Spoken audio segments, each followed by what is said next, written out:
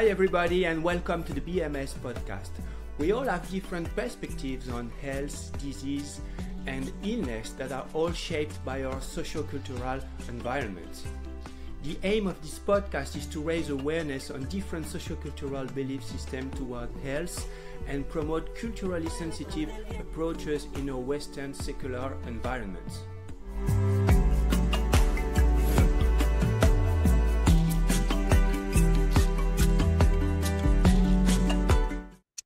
Bonjour et bienvenue pour ce nouvel épisode du podcast de BMS. Nous avons le plaisir d'avoir avec nous Monsieur Sébastien Thiel. Bonjour Sébastien. Bonjour Raphaël. Et nous allons parler ensemble de gyrokinésis. Alors Sébastien n'est pas un inconnu pour moi puisque euh, je fais moi-même euh, du gyrokinésis. Je ne suis pas un des étudiants les plus assidus, mais c'est une discipline en fait que j'ai eu la chance d'expérimenter moi-même. Et donc, il y a tout un tas de, questions qui peuvent intéresser les personnes qui nous regardent et qui nous écoutent pour savoir ce que c'est, à quoi, en quoi ça peut aider certaines, certaines personnes. Mais avant tout cela, je vais laisser Sébastien se présenter. Merci Sébastien hein, d'être avec nous aujourd'hui. Oui, bah, merci Raphaël de, ton invitation. Euh, donc, euh, bah, pour moi, en fait, j'ai euh, une carrière de, danseur. J'étais danseur, danseur à l'opéra et j'ai eu la chance de, travailler avec des, chorégraphes réputés et ça m'a fait beaucoup plaisir de faire toutes ces années à l'opéra, de travailler avec, Maurice Béjart, Caroline Carlson, John Robbins, donc des, des chorégraphes qui m'ont beaucoup, beaucoup apporté. Et euh, dans mon approche du mouvement à, l'opéra, j'étais déjà, euh, comme on dit, soucieux en fait d'avoir une, qualité euh, de mouvement, essayer de ne pas m'accidenter. Donc j'essayais d'avoir un rapport intelligent par rapport au corps, au niveau du stretch, du renforcement, avec mes propres, avec mes propres connaissances. Et après ces dix ans de carrière à l'opéra, j'ai continué ma carrière à Hambourg avec John Meyer et c'est là où, en fait, j'ai rencontré, rencontré euh, la Giro. D'accord. Donc, l'Opéra de Paris. Tu... Bah, c'est, oui, l'Opéra de Paris. D'accord. Parce qu'après, tu allais, tu allais donc aller en, en. Et c'est donc euh, quand tu étais danseur, déjà que tu as commencé à intégrer ces, ces pratiques euh, dans le cadre de ton de ta routine de travail pour, pour maintenir ton, ton état de santé optimal? Oui, bah, en fait, c'est devenu en fait d'une recherche très précise. Quand j'étais euh, à Hambourg, en fait, j'ai commencé à avoir des problèmes de hanches. À chaque fois que je faisais certains mouvements, donc les, danseurs connaîtront euh, le rond de jambe, j'avais ma hanche qui faisait cloc, cloc. Elle, elle, cloquait à un certain, à un certain angle.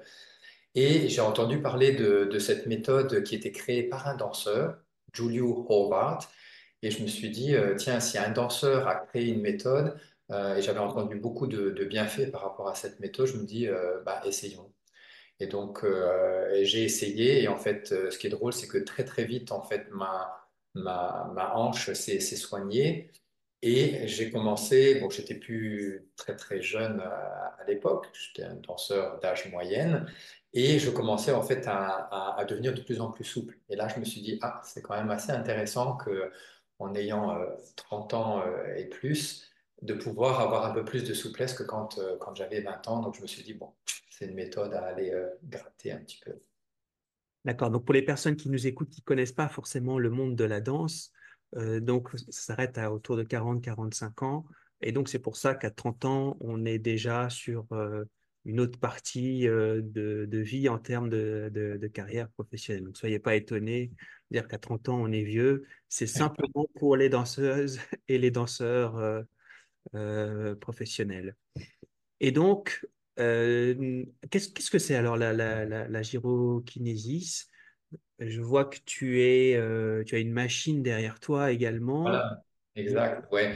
Alors c'est vrai que les, les, gens ont entendu peut-être parfois parler de, de, la gyro, je fais de la gyro, le nom raccourci.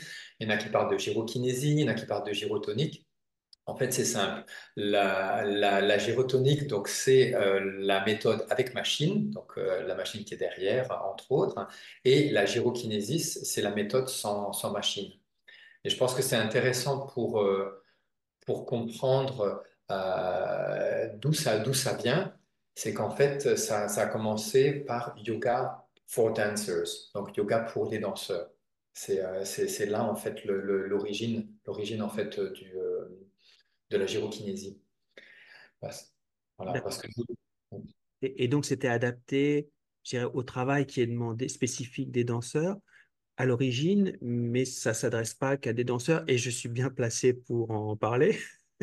donc, et ça s'adresse pas vraiment à que des personnes très souples, je suis bien placé pour en parler euh, euh, également. Donc, quel est le, est-ce, qu'il y a une définition? Est-ce qu'il y a une, vision, euh, un objectif bien particulier? Comment, ça se définit par rapport aux autres euh, exercices euh, corporels qui sont qu'on connaît mieux, comme le yoga, le pilate, l'exercice de stretching? Mmh mmh En fait, c'est c'est intéressant, comme je disais, ça, a commencé par euh, yoga pour danseurs, c'est-à-dire que Julio Horvath, qui est le, créateur, qui a 80 euh, ou 82 ans, et euh, j'ai eu la chance de, travailler avec, lui. Étant danseur et étant un grand yogiste, il y a des, il poses extraordinaires qu'on peut voir sur, le net où, il, a, il a pratiqué un, un, yoga très très avancé, a commencé à élaborer sa méthode yoga pour danseurs à New York euh, dans les années 80. Donc en fait, c'était quelque chose qui était très très avancé. Euh, il n'y avait pas de machine, il n'y avait pas de tabouret, on était au sol et euh, il y avait des mouvements extrêmes comme les grands écarts et tout. Donc c'était vraiment pour un, un, public très, très ciblé. Et ce qui est drôle, c'est que ça faisait tellement du bien à ces danseurs que ces danseurs voulaient ramener leur maman, leur papa, leurs voisins et tout. Et Julio Horvath, qui est un, fou du corps, non seulement euh, le travail physique, euh, musculo-squelettique, mais aussi le travail énergétique, on, en parlera plus tard, eh ben, il a accepté tout le monde. Il a accepté les parents, les voisins, les tantes et oncles. Et en fait, il s'est dit, cette méthode ne peut pas être que spécifique pour les sportifs de haut niveau. Il faut que je vienne de plus en plus simple et de plus en plus à la base pour que monsieur tout le monde, en fait, puisse y accéder. Et donc maintenant, lorsqu'on prend un cours de gyrokinésie euh, niveau 1 euh, basique, comme tu sais, euh, Raphaël, on commence en fait sur un tabouret. Donc en fait, on est assis sur un tabouret. On fait d'abord des mouvements de colonne vertébrale sur tous les plans avec certaines respirations qui est accessible à tout le monde puisqu'il n'y a pas cette, ce, côté parfois difficile pour certains de se retrouver simplement au, sol, assis au sol. Et donc, merci pour, toutes ces, précisions sur comment ça, a été construit, comment ça a été développé spécifiquement pour une certaine catégorie de, professionnels. Et ensuite ça a diffusé, je dirais, à monsieur et madame euh, tout le monde. Mais est-ce qu'il y a des indications bien précises? Que je veux dire par là Est-ce que euh, c'est comme une prescription, entre guillemets, parce que je sais que tu travailles euh, également en collaboration avec un cabinet de kinésithérapie dans le programme de rééducation fait par le kiné, il y a aussi des euh, séances de gyrokinésie qui sont recommandées. Ou est-ce que n'importe qui peut le faire sans forcément qu'il y ait de douleurs euh, musculo-squelettiques? Est-ce qu'il y a une approche bien spécifique justement en termes de prévention? Alors en fait, ça, couvre euh, un peu tout, c'est-à-dire que ce qui est intéressant, euh, ce qui est intéressant, en fait, je, je, veux juste parler en fait de nouveau de Julio et éventuellement de, de, son frère, parce que et ça va répondre à ta question. Donc Julio Horvath, il était plutôt donc danseur, et son frère, il, s'occupait des athlètes, euh, des jeunes athlètes euh, roumains, parce qu'il est d'origine roumaine, pour les amener au, niveau de, de, des, Olympiques, des Olympiques. Et lorsqu'il est arrivé en Allemagne, en fait, il a étudié la kinésithérapie. Donc, en Allemagne, en fait, euh, le frère de Giulio Horvath a travaillé beaucoup dans euh, des, centres de rééducation et il prenait en fait donc avec les sportifs et aussi euh, Monsieur Tout le Monde et il prenait les personnes qui étaient voilà opérées des bras, opérées de différentes personnes et il a utilisé en fait les mouvements de gyrokinésie pour la rééducation. Donc avec machine ou sans machine. Donc du coup, ça, couvre, ça couvre en fait très large cette méthode. En effet, moi je travaille avec euh, un kiné euh, sur Paris où lui, il, euh, s'occupe des gens pour, faire leur, première séance de, kinésithérapie.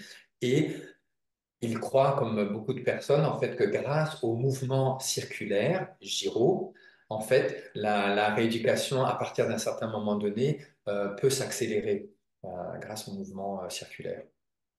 D'accord.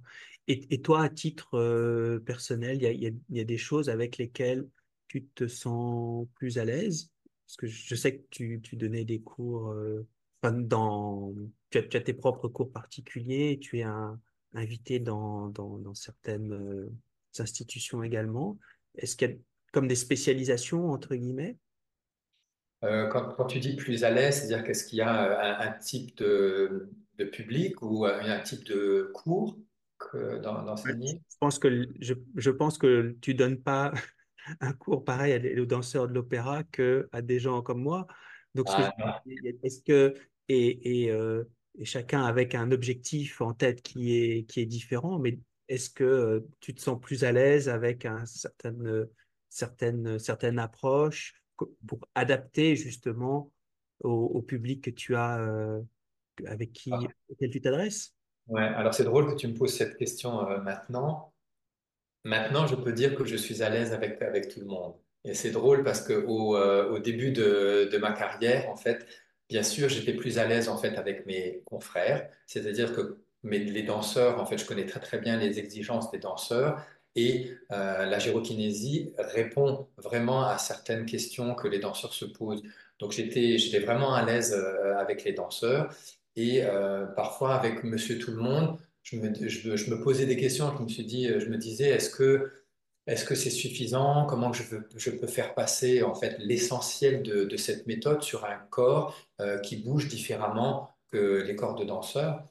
Et en fait, je vois euh, aujourd'hui, après bon, 20 ans, 20 ans d'expérience, ça a pris du temps, mais en fait, ça arrive, que en fait, c'est extraordinaire pour tout le monde. Et quand, euh, quand je vois des, personnes, voilà, j'ai même des personnes de, de 70, 80 euh, ans qui, après certaines séances, me disent Ah, Sébastien, tu sais, j'avais de l'arthrose dans les mains et maintenant j'arrive mieux à bouger mes mains. Ça, pour moi, c'est comme si un danseur arrivait à faire 32 fouettés. Donc, les, les, proportions en fait de, bienfaits, en fait, euh, du l'envergure des bienfaits est proportionnelle en fait à ce que la personne attend. Donc moi, ce qui est le plus principal, ce qui est principal quand une personne m'approche, que ce soit Monsieur Tout le Monde, un danseur, une personne euh, accidentée ou autre, euh, c'est sa volonté de vouloir aller mieux et l'ouverture de vouloir essayer quelque chose de nouveau. Et là, en fait, il a tout, tout dans ses mains pour pouvoir en fait se, euh, guérir et avancer. Super. Alors maintenant, justement, si tu parles de, de, guérir, euh, on est un petit peu euh, et à la limite ou à la frontière entre le bien-être et la santé. Et je ne savais pas que le fondateur avait un frère et tu vois, tu m'en apprends euh, également, euh, et qu'il y avait une, partie qui était beaucoup plus liée en fait à la rééducation, comme tu l'as dit, en fait, avec des personnes qui étaient euh, opérées. Mais le, le, but de ce podcast aussi, c'est de, donc on parlait de body, mind, spirit, c'est-à-dire que il y a de l'influence de l'environnement socioculturel sur comment on perçoit notre corps, où il y a des sociétés, il y a des environnements où le corps, le corps est une machine euh, et, et, donc on répare quand il y a des symptômes, ou on va demander de l'aide quand il y a des symptômes. Et dans d'autres cultures, euh, le, corps, c'est un, un, un, élément aussi qui, qui s'intègre dans, dans, quelque chose de plus euh, global. Je, je, sais que tu nous avais, il avait écrit un livre le Julio Ovar, avec euh, des photos, des citations, des choses qui peuvent, on va dire, laisser libre cours à beaucoup d'interprétations. Est-ce que, est-ce que ce qui est, de ce qui est public, de ce qui, est-ce qu'il avait des, des, croyances en santé, une certaine compréhension du corps spécifique ou c'était assez, assez large? Alors en fait, euh, euh, comment, comment dire, c'est euh, bon, Julie Horvath est vraiment quelqu'un de, de par- particulier. Moi, je suis très content de l'avoir rencontré. Je pense qu'il y a beaucoup de gens qui ne le rencontreront pas, mais je pense que c'est quelqu'un qui, euh, qui a des capacités euh, spécifiques pour ne pas simplement traiter le corps euh, musculo-squelettique, mais d'avoir une, approche en fait beaucoup plus large. Et je dis ça en fait parce que lui, il a, il a par sa propre expérience, en fait, il a réussi en fait à, toucher quelque chose de, de- d'assez intéressant qui maintenant est, propagé dans le monde entier. Euh, il a eu un accident en fait euh, sur scène. Je crois qu'il s'est pété le, tendon d'Achille. hein. Il était danseur à New York et euh, au niveau de la kiné- kinésithérapie et des yogas, personne en fait pouvait l'aider. En fait, c'était à un tel point en fait que apparemment il disait qu'il il marchait à quatre pattes, il pouvait plus marcher debout. Donc, il s'est retiré dans, l'île Saint-Louis, en face de New York, et il a construit une petite euh, cabane, c'était dans les années 70, une petite cabane dans les, dans les, dans les arbres. Et euh, en fait, avec ses connaissances de, de yoga et de danseur, il s'est dit, bah, c'est à moi de me, euh, de, de s'occuper de moi-même. Donc, on dit en anglais que le, le gyrokinesis, it's a, healing method. Donc, en français, j'ai du mal à la, à la traduire parce que moi, je ne suis pas un médecin et je ne peux pas dire c'est une, une méthode qui soigne, bien que j'ai vu avec ce mouvement circulaire, en fait, de, belles choses euh, se passer dans, les corps. Mais je sais que lui, au bout de 6 ou 7 ans, avec ses exercices de yoga, de respiration et de danse, il s'est soigné. Il a réussi à régénérer euh, certaines cellules du corps et à, à bouger, en fait, euh, le travail énergétique, parce qu'il y a un travail aussi énergétique. Et c'est de ça où il s'est dit, qu'est-ce que je fais avec ces connaissances? Donc, il est retourné à New York, il a pris deux ou trois danseurs et après, voilà, c'est tout, tout ce que j'ai raconté euh, jusque-là. Donc, pour moi, en fait, ça va beaucoup plus loin en fait qu'une méthode euh, qui se fait du bien euh, comme ça. ça. peut être vraiment très profond. Comme je dis, comme je t'ai dit, ça fait 20 ans maintenant que, que, que je la pratique et que j'en apprends toujours et j'approfondis vraiment cette, cette approche, cette approche du, du corps. Alors peut-être pour nos, nos amis lecteurs, euh, enfin lecteurs, auditeurs ou visionneurs qui, euh, qui nous, qui nous écoutent en, en ce moment, moi, quand je, pose ces questions, alors c'est toujours très intéressant de comprendre d'où ça vient, euh, quelle que soit la discipline, quelle était la personne et quel était le contexte, le, le contexte socioculturel à l'époque. Alors, je suis pas un spécialiste des États-Unis, mais mm, voilà, je pense qu'à cette péri- période-là, on- il y avait, il y avait beaucoup de, de bouleversements euh, également et beaucoup d'idées euh, euh, et pas, voilà, une culture assez, assez, assez riche. Mais quand je, je pose la question de savoir est-ce qu'il y a juste du musculo-squelettique, c'est que je, je pars toujours du concret, du réel. C'est-à-dire que moi, j'étais dans des cours, on, a, parlera aussi des, des retraites que tu fais chaque été, euh, où pendant les cours, il y a des personnes qui se lèvent, qui partent parce qu'il y a des émotions qui ressortent, il y a des choses euh, qui se mettent à pleurer, qui se mettent à rire, cette chose. Donc, y a, ça, alors que c'est le même mouvement pour tout le monde. Euh, voilà, c'est un cours euh, comme chaque cours de, de, discipline physique. Il y a le professeur devant qui montre et puis après, les élèves le, le, reproduisent. Et il y a certaines choses qui peuvent sortir qui sont complètement inattendues. Et donc, moi, la question que je, je, te pose là, c'est par rapport à ce que moi, j'ai pu observer et comment vous, vous, vous l'expliquez, si vous l'expliquez, ou est-ce comment, comment, comment tu fais pour gérer ça? Parce que j'imagine que les personnes ne viennent pas pour ça. Euh, comment, com, com, comment tu gères quand c'est quand il y a ce type de libération ou de manifestation non musculo-squelettique qui arrive dans un de tes cours? Alors, j'essaye en général parfois d'expliquer de, de, avant le cours, alors sans, sans faire peur, mais je dis voilà que c'est un une méthode de mouvement où il y, a, il y, a, des choses en fait qui peuvent euh, surgir et faire, euh, et faire surface.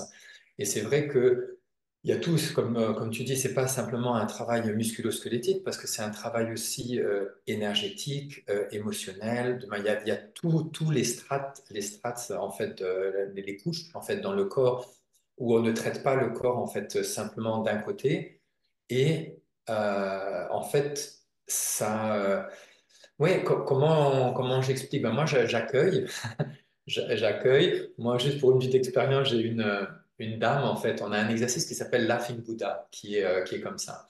À chaque fois, c'était une formation. Je faisais une formation. On faisait toutes les formations, tous les exercices de, cette famille. Elle faisait le Laughing Buddha.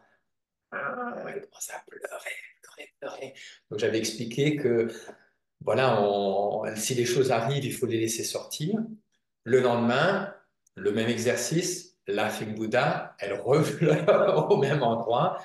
Et je commençais à expliquer, en fait, dans le Laughing Buddha, en fait, on, initie avec le, petit doigt. Ceux qui connaissent un peu les méridiens du corps, les méridiens du, du corps, ils savent que le petit doigt, en fait, c'est le méridien du cœur. Et donc, simplement après, en étudiant profondément, on se disait, oh waouh, simplement en faisant un exercice, excusez-moi, stupide ou simple, disons voir, ça a tellement de corrélation et de connexion dans le corps et comme les gens sont à l'aise et ils ne s'attendent pas peut-être à éventuellement à se faire avoir émotionnellement, donc j'essaye dans, dans, mes cours de, de, donner voilà, une ambiance de confiance pour que chacun puisse être tel qu'il est. Et si les émotions viennent, surtout, elles doivent sortir. Parce que là, l'une des qualités en fait, de la gyrokinésie, c'est ce côté euh, euh, healing et euh, régénérateur. On, parle, on parlera de, de du stage d'été euh, à Ségriès, où le corps en fait a des toxines dans le, à l'intérieur et en fait on a un certain moyen en fait de d'essayer d'évacuer les, toxines, puisque en général on n'aime pas trop garder ces trucs-là en soi. Et donc c'est ce travail, ce, ce, travail intérieur en fait que, que, l'on fait monsieur tout le monde qui vient prendre mes cours n'ont pas forcément besoin de, le savoir au début. À chaque fois, ils me disent Oh, qu'est-ce qu'on sent bien dans tes cours? On sent bien, mais peut-être au bout de quelques semaines et quelques mois, on va euh, plus profondément euh, dans, la compréhension de. Peut-être une demande, merci hein, pour toutes ces, précisions et ces partages. Peut-être une, précision pour, euh, quand tu parles d'énergétique, est-ce que tu fais référence à euh, un type de, choses en, particulier, un type de, médecine traditionnelle ou de façon plus générique à, une partie euh, euh, non physique, non biologique du, du corps, mmh. simplement pour, pour comprendre dans, dans, quel contexte tu utilises ce mot qui est clivant pour beaucoup de mes confrères, par exemple, ou beaucoup de personnes dans le monde médical. Euh, dans le monde médical occidental, on va dire ça comme ça. Mm. Excuse-moi, j'étais juste allé changer euh, euh, la lumière parce qu'il fait, il fait de plus en plus sombre et puis maintenant je deviens un peu bleu. je vais remettre bouche. Tout va bien. Ma, femme est art thérapeute et ah me pose toujours les questions sur les couleurs euh, complémentaires. Donc maintenant, je saurai la couleur complémentaire. L'orange. Ouais, bien, super. Donc, euh, euh on parlait de, l'énergie. parce que c'est important, je pense que euh, la question que tu disais. On parlait de, l'énergétique. Ah, oui. Ça, faisait référence à, à, quelque chose en particulier ou si c'était un terme générique? Alors, c'est vrai, euh, énergie, l'énergie, en fait, il y a, certaines, euh, certaines personnes qui sont, qui sont sensibles à ça, d'autres qui se disent euh, qu'est-ce que c'est? Moi, je donne souvent l'exemple en fait des, arts martiaux, en fait, parce qu'il y a pas mal d'exercices en fait où on stimule notre notre prana, notre chi. chi. En, en on parle de, seed, seed center, donc le, centre de, de, de semences dans, dans le, dans le bas-ventre. Et, euh, et euh, je, je, prends, je prends, oui, c'est la, la, la, source, la source la source de vie. Et euh, c'est vrai que certaines personnes qui sont familiarisées avec les, arts martiaux, définitivement, eux parlent vraiment d'énergie, parce que c'est pas de, la force qu'ils ont, c'est de la puissance. Ils viennent chercher ça. Donc c'est quelque chose que, que, que Giulio Rovart en fait a, vraiment aussi cherché et élaboré. C'est quelque chose que je pense qu'il a vraiment stimulé dans son corps pour pouvoir se soigner, to heal, to heal himself. Et euh, c'est cette, cette approche-là en fait moi, qui me, qui me fascine, parce que dans, ma carrière de danseur, en fait, on ne parlait pas euh, du tout euh, de cette approche-là, surtout sur la, carrière de danseur classique. Peut-être les, danseurs contemporains euh, sont, euh, sont peut-être plus familiarisés par rapport à ça. Et cette, cette euh, possibilité de pouvoir l'activer, c'est ce qu'on fait en gyrokinésis, en fait, et de le diffuser dans, le corps, bah, euh, permet euh, voilà, de- d'avoir, plus de, de- de- d'énergie, de commencer à, à, stimuler l'auto-guérison si on croit que le corps a la capacité de, euh, se guérir euh, euh, soi-même. Eh ben, c'est, une excellente transition avec le, le- le- travail que l'on fait, nous, en ostéopathie, parce que les capacités d'auto-guérison du corps, on les retrouve dans deux documents. Et un document, c'est par exemple celui de l'Ordre des masseurs kinésithérapeutes en France, qui le, qui l'a listé comme une caractéristique distinctive pour reconnaître une dérive thérapeutique. Et en même temps, c'est un caractère distinctif sur les documents de l'OMS, l'Organisation mondiale de la santé, pour décrire une médecine traditionnelle, complémentaire ou- ou intégrative. Et donc, nous, en ostéopathie, on a ce principe du body, mind, spirit qui l'on peut rattacher aux deux, en fait. Et donc, c'est pour ça que dès qu'on va commencer à parler de certaines pratiques en ostéopathie, bah, soit on va nous rapprocher de euh, pratiques non scientifiques telles que c'est euh, décrit par le modèle euh, biomédical, mais en même temps, euh, pour ceux qui sont comme moi familiers avec les médecines traditionnelles amérindiennes, c'est la base de, c'est la base de ce travail. Donc, il n'y a pas d'opposition. Nous, on ne cherche pas à opposer. On, on, a, on parle d'approche centrée sur la personne, c'est-à-dire qu'est-ce qui est venu chercher la personne? Et en fonction de son système de croyance, effectivement, bah, si elle pense que le corps, c'est une machine qui est faite pour fonctionner, produire, faire, etc., bah forcément, toute l'énergétique, toute la partie euh, euh, euh, émotionnelle, ça va, elle va pas forcément faire le lien avec ce qui se passe dans son, dans son corps. Mais d'autres personnes qui, ont, qui viennent d'autres cultures ou qui sont plus sensibles ou qui travaillent comme vous, les danseurs, avec, dont le, corps, c'est leur outil de travail, bah, le, le corps en danse, c'est pas simplement faire euh, les 32 fouettés, comme tu l'as dit tout à l'heure, en fait, c'est raconter une histoire.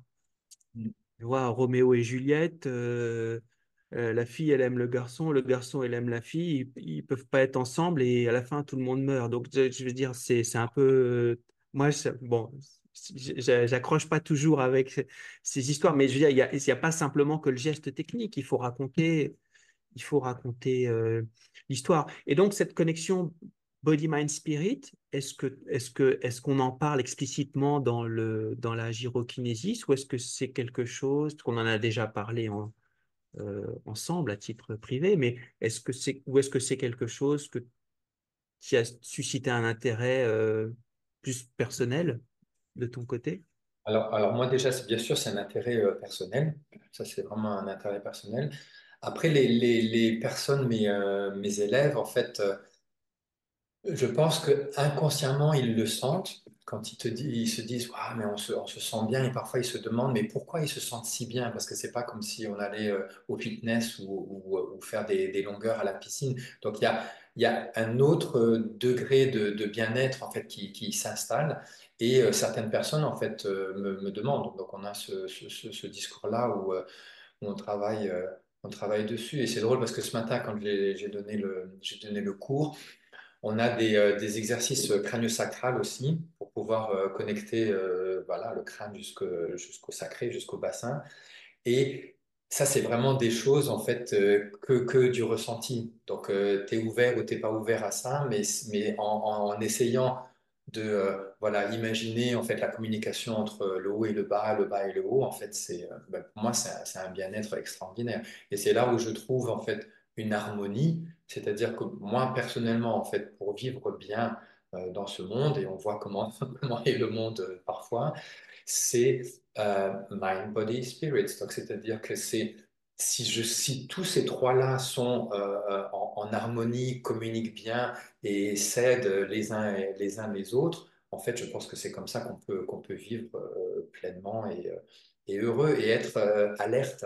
Parce que pour moi, en fait, j'ai eu la chance, en fait, je croise les doigts, je me suis jamais accidenté en, en 30 ans de carrière de danse parce que j'étais aussi à l'écoute de mon corps.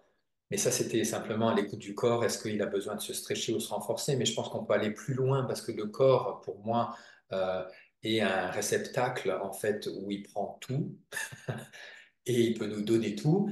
Et si on est un peu à l'écoute, tu vois, on peut savoir, tu vois, le plexus solaire, c'est là où il y a toute l'émotion qui réside. Si on commence à avoir un petit peu mal ici, euh, bah, ça peut pas prendre euh, des doliprane ou quelque chose. C'est essayer d'aller voir, est-ce que il y a quelqu'un qui m'a dit quelque chose hier ou avant-hier qui, me fait que je suis dans, cet état-là? Donc de voir, en fait, d'avoir une approche de, la vie vraiment euh, sous, sous, sous, toutes ses formes. Et plus j'avance dans l'âge, plus je, je, fais vraiment ce, ce, ce, lien euh, entre les deux. Et si on s'occupe de tout, de ces trois-là, mind, body, spirit, ben, euh, comme je dis, l'un aide l'autre, en fait.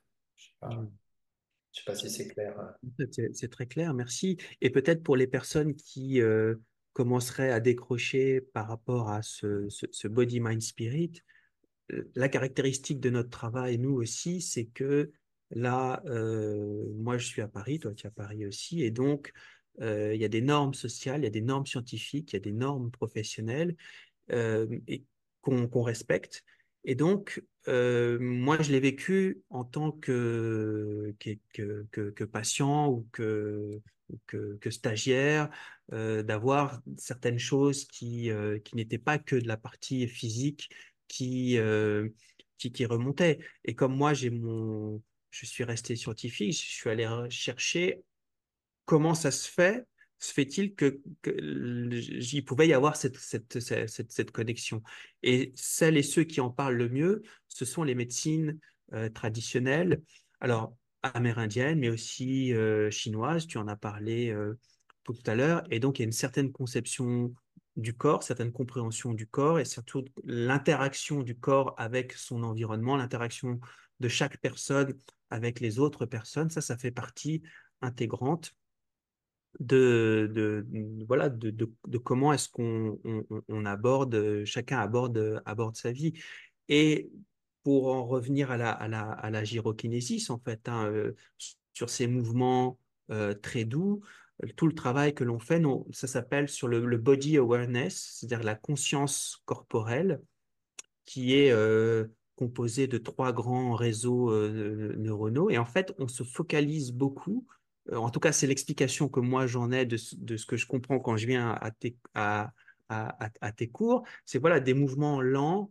légers, avec l'esprit enfin, l'attention, je faire attention au mot que j'utilise, en portant l'attention sur ce qui se passe à l'intérieur du corps tel que toi tu le demandes, tu demandes, euh, il y a toujours des, imageries, de visualiser ça comme ça, etc. Ça fait que mon attention, elle est portée sur ce qui se passe à l'intérieur du corps. Et là, bah, il y a d'autres choses qui se, qui, qui, se passent et pas que du musculo-squelettique. Donc, euh, moi, quand je viens à tes cours, c'est pas pour faire une étude, euh, publier un article, mais ce que je veux dire par là, ça ressemble beaucoup à ce qui peut se passer en, dans des cabinets d'ostéopathie avec certaines techniques chez certaines personnes qui, le, qui, viennent, pour ça, qui ont un certain type de croyances par rapport, croyances socioculturelles en santé par rapport à leur corps, qui n'est pas, il n'y a pas que la, croyance occidentale du corps machine qui est là pour euh, produire. Le corps, il sert à être aussi à, vivre des expériences et pas simplement euh, à, produire, à créer, à être, productif. Donc ça fait vraiment sens avec ça sur le, sur le, body, mind, spirit. Est-ce que tu avais des choses à ajouter sur, ce, sur, cette, sur cet aspect-là, du fait que, euh, sur cet aspect-là, non, mais quand, quand, on a fait la, le, le, le, stage d'été euh, à Ségriès, on a eu toute une soirée comme ça sur, sur, cette, sur ce thème-là et c'était très intéressant en fait de voir euh, les, euh, les gens, tu vois, c'était intéressant, les gens qui se questionnaient par rapport à, à ce, euh, ce, topic? Oui, oui, on en a, parlé, on en a parlé, on l'a évoqué déjà. Donc effectivement, euh, peut-être pour expliquer pour- pourquoi on se tutoie, parce qu'il y, a- des invités que je ne tutoie pas et d'autres je ne me, permettrai pas de. Donc euh, Sébastien, je le connais depuis, quelques années maintenant, et puis à chaque fois, il m'invite maintenant sur ses stages l'été euh, qui fait au, à Ségriès, à côté d'Aix-en- d'Aix-en-Provence. Donc c'est un endroit magnifique dans, dans la nature où moi, je vais prendre des cours, où je vais à la piscine. Et, et ben, on- je- je- j'essaye d'être honnête. hein, je ne vais pas toujours à tous tes cours, mais je vais. La piscine, j'aime bien aussi. Euh, et euh, pour les personnes qui le veulent, on fait des, des- des consultations d'ostéopathie. L'endroit est vraiment approprié pour ça. Et puis, il y a toujours une soirée où, euh, Sébastien me demande d'intervenir sur ce sujet-là, euh, c'est-à-dire les connexions body-mind-spirit.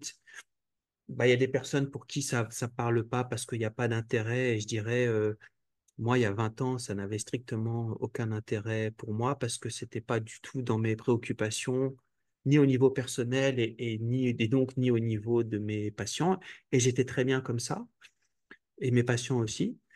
Et euh, maintenant, voilà, le fur et à mesure des événements, des réflexions, des rencontres, on s'aperçoit qu'il y a d'autres euh, choses, en fait. Et ça, on en, effectivement, on en, on en, on en débat. Donc, simplement pour expliquer pourquoi, effectivement, Sébastien, moi, on se connaît euh, assez bien. Et puis que il me fait l'honneur à chaque fois de m'inviter à ces stages euh, l'été pour qu'on on, on échange sur ces sujets.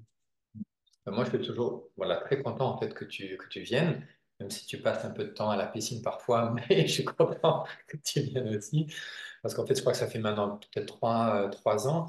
Et en fait, euh, voilà, non seulement quand on a discuté par rapport à voilà, mind, body, spirit et d'autres choses, je me suis dit, avec notre, communauté de gyrokinésistes, je me suis dit que ça pourrait vraiment les intéresser. Donc, ce qui est, drôle, c'est que, euh, maintenant, le stage, fait, cinq jours. Donc, euh, lorsque euh, euh, on a ce- cette, fameuse discussion autour de, cet arbre qui doit être centenaire, à l'extérieur de où, euh, où les gens, en fait, même les, personnes les plus réfractaires et tout, commencent à penser différemment. Et en fait, ce qui est drôle, c'est qu'à partir de dès le lendemain, en fait, je suis désolé, tu es, toujours booké au niveau de tes séances. Donc, je, je suis, je suis content, en fait, que, que c'est toujours, en fait, moi, je sais pourquoi je t'invite, en plus que, voilà, tu es mon ami, mais euh, je, je sais aussi pour, pourquoi je t'invite. Et ça me fait plaisir que sur ces, ces 20 personnes qui, qui sont là pour profiter de- du lieu, profiter des mouvements de, de gyrokinésie, de la façon de régénérer son corps, euh, eh ben, pensent peut-être un petit peu différemment quand, euh, quand ils ont fini ce, ce- stage-là par rapport à, par rapport à leur corps, leur, leur, euh, leur- comment ils vivent. Moi, il n'y a, a pas plus pragmatique que moi, en fait. hein. C'est-à-dire que les, les personnes perçoivent des choses dans leur corps. Et quand on va dans un cours de gyrokinésis et que le prof, euh, si on y va dans l'idée, bah, en fait, euh, j'ai envie d'être euh, d'être bien, d'être flexible, d'être, de me sentir bien, de voir du monde, enfin, quel que soit, et que le prof, il dit, bon, bah, alors on va travailler d'abord cette zone-là, on bouge comme ça, etc. Et que si le, prof ne parle que de, on va dire, de musculo-squelettique, c'est-à-dire que bah, vous allez avoir plus flexible, vous pourrez faire ça, etc., et que la personne se met à percevoir d'autres choses que le prof n'a pas évoquées, en fait, elles vont, elles vont se sentir, euh, bon, en fait, non, c'est moi qui vais pas, en fait. Le prof, il demande de faire ça. Comment ça se fait qu'il y a ces émotions qui remontent? Comment ça se fait que j'ai euh, ce souvenir qui me revient, etc. Donc, je dois faire les choses pas comme il faut. Alors que, et donc, c'est un petit peu le, but de ces discussions. Et toi, je te remercie pour être vraiment très ouvert sur, euh, sur, beaucoup, de- choses. À partir du moment où on pose le cadre en disant, si vous faites ça, si vous avez l'habitude de le faire, en plus, si vous avez l'habitude, je ne sais pas, de faire de la méditation, de faire un travail, vous avez déjà un travail personnel très fort, euh, très important. Euh, si vous vous mettez là, on vous sort de votre, euh, on sort de Paris, on vous met dans un endroit euh, super où les gens s'occupent de tout, il n'y a rien à penser à part aller au cours, bah, c'est, voilà pourquoi il, peut se produire ça. Et puis, comme tu le dis très bien, on l'accueille Et moi, je ne suis pas psychologue, toi non plus. Euh, le but, c'est pas de soigner les gens là, c'est juste d'expliquer que c'est là et que s'ils n'arrivent pas à le gérer, ben, on réfère à, certains, certains types de personnes. Mais en tout cas, cette connexion mind-body ou mind-body à quelque chose de, plus grand que nous, quel que soit le nom qu'on veut, qu'on veut lui donner, elle est là en fait. Et, euh, donc, je suis ravi qu'on ait pu euh, explorer tout ça euh, entre, entre, temps. Je, je, je, souris parce que je vois pour nos, pour nos amis qui vont nous voir sur la chaîne YouTube, ils vont voir les différentes couleurs de l'arc-en-ciel de Sébastien. Vous n'avez pas prévu en fait qu'elle allait avoir le, le, coucher de soleil et euh... le sunset. Très bien. Écoute, je crois qu'on arrive au terme de cette, euh, de cette discussion. Donc, on a, on a, on a, tu, tu nous as présenté un petit peu les origines, euh, comment c'était fait, cette, méthode était créée par, euh, par quelqu'un qui était un danseur. Et comment à partir de quelque chose de spécifique, ça a pu essaimer sur, euh, sur d'autres populations, que ce soit dans le cadre de, de rééducation en combinaison avec un kiné ou pour du bien-être, pour de la flexibilité, pour tout un tas de, de choses. Et que voilà les personnes en fait les personnes qui de ce que je comprends hein, les personnes c'est un peu comme en ostéopathie les personnes qui pensent que le corps c'est un corps machine bah, elles viennent chercher quelque chose de précis et les personnes qui pensent que le corps bah il y a un peu plus ou il sert à à d'autres choses, bah, elles vont trouver la, des choses différentes auprès de la même personne. Et c'est pour ça que c'est toujours assez difficile d'expliquer euh, qu'est-ce que c'est exactement en fait. Tu as décrit le cadre, ce qui peut se passer, et que c'est une pratique corporelle, c'est-à-dire que bouge en fait. Hein. Mmh. Donc, est-ce que tu avais des choses à... Alors, on, on mettra évidemment les liens sur euh, ton site internet, les sites pour les, les endroits où tu donnes des cours, euh, le lieu à Paris où c'est avec un dans, dans, le cabinet de kinésithérapie, et puis le, le lien de, de, ton stage s'il y a des personnes qui sont intéressées pour mieux, pour mieux connaître votre euh, discipline. Mmh. Est-ce est que tu aurais un dernier mot pour, euh, pour conclure cette, cet échange? Le, dernier mot, ça pourrait être peut-être une phrase de, de Giulio Rovard, si je peux le, citer. Euh, Chapeau lui demandait, mais c'est pourquoi faire la, la, gyrokinésis? Donc en fait, lui, il, dit, je le dis d'abord en, anglais, on va le traduire, en fait, il dit It's to age uh, healthy and gracefully. Donc c'est pour pouvoir euh, euh, aller dans la maturité, prendre de l'âge de façon saine et, euh, et euh, avec grâce. Et, euh, et, je pense que c'est important. Hein. Il, a quand même, il a quand même 82 ans et en fait, on voit qu'il est encore en, super forme. Il est vraiment en super forme et que il, disait en fait, normalement, la gyrokinésie, c'est fait pour les personnes en bonne santé. Alors c'est vrai que on a plutôt parfois des personnes qui ont qui découvrent cette méthode parce qu'ils ont mal quelque part, mais je pense que je, dirais plutôt le, message que que vous ayez mal ou que vous soyez en, bonne santé, voilà, si on veut en fait aller, euh, aller dans, dans l'âge euh, de, façon, de façon agréable, quoi, je pense que la, la, gyrokinésie, c'est une bonne méthode pour, euh, pour accompagner sur tous les plans. Eh bien, écoute, Sébastien, merci beaucoup pour, pour ta présence avec nous, pour ton temps et puis pour l'énergie euh, de, bienveillance que tu euh, dégages et qui m'est retournée à chaque fois euh, quand, quand, je, suis élève, vraiment sur ta gentillesse, ta façon d'accompagner chaque personne en fonction de ce qu'elle est.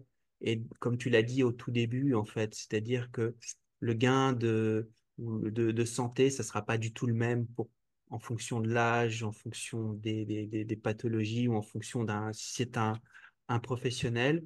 Mais je suis toujours euh, époustouflé par ta capacité justement de pouvoir amener ce, ce petit gain avec des groupes aussi euh, hétérogènes où je me rappelais où il y avait des professionnels et des personnes qui se mettaient au fond, qui arrivaient tout juste à s'asseoir, c'était compliqué. Et donc chacun est accueilli toujours pour ce qu'il est. Euh, donc merci pour ça aussi. Et merci donc de, de partager avec euh, nous cette, euh, cette passion du gyrokinésis. Mm-hmm. bah, merci, merci Raphaël, merci à tout le monde. Merci beaucoup et à très bientôt pour un nouvel épisode. Au revoir.